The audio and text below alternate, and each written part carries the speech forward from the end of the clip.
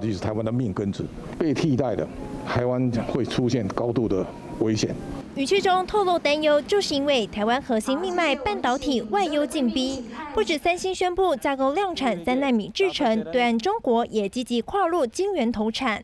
更点名南韩半导体衰退的开始，正是因为对中国从贸易顺差变成逆差。台湾要以韩国为借鉴，一方面，南韩的贸易到六月二十号为止，它已经出现的贸易赤字。如果日元一路变，韩元也跟着一直变。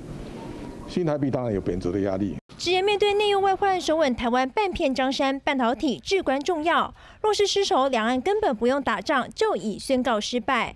谷歌前 CEO 施密特更示警，中国以举国体制方式扶植半导体，俨然威胁到美国，恐怕将在二零二五年取代台湾，成为全球最大晶片产地，万万不可轻忽。即使到了二零二五年，它的一个呃十二寸晶圆厂的厂数，也许会是世界第一，但是其实在技术水准上面来讲，尤其在先进制程这种攸关性的部分的话，其实还是难以撼动台积电、联电这样的一个水。